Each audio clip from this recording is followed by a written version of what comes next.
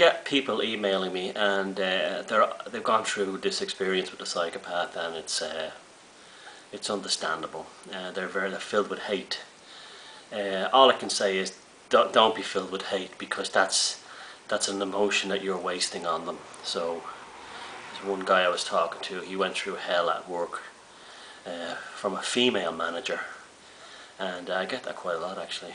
Not to say female managers are wrong, but like just like in business, uh, the psychopaths, male and female, they, they rise up the ladder. But you know, don't hate because you need that. You need that to work on yourself, and you know, who cares? You know, who cares about these? They're gone. I found this this collage that I made oh years ago, and uh, I, I, like making collages. Uh, well, I use I don't get do it much now, but I just think that there's a there's a sort of a transformative process in the actual collage. I'm not very good at it, but uh, I want to show I want to just want to show you this one. This is because this, you know, the whole thing of art being the the maker of reality or the portent of future change. But this one here, you see it it has a picture of a hare, which is an animal, along with the raven I have a sort of an affinity to. I always seem to see ravens. Ravens, seagulls and hares when something significant is happening in my life. I don't know why, it just seems to happen. Uh, there's a hare, and then the title is Building a Sense of Reality. Uh, I just don't know where I got that. And then something, the life story of, and then, you know, there's a, there's a, there's a a, a, skeleton here pointing at a guy. It's a dummy's ventriloquist on the stage. It's from an old comic book, and uh, I'm just looking at this thing, and it's that's exactly what happens to people when there's a woman bound here.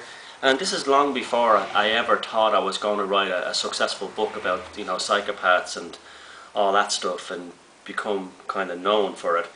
But it was sort of like it, that's what was happening in the background all through my life. I was building this new sense of reality, uh, and it's it, I, I, didn't know I had all this stuff inside me from my childhood that, that, actually has come to mean something now in the fullness of time, and uh, so this is how you deal with the issue: is you must build yourself a new sense of reality, and that's what's happening in the world anyway. There really is a revolution going on right now, but it's a very different kind of revolution. It's a revolution of consciousness.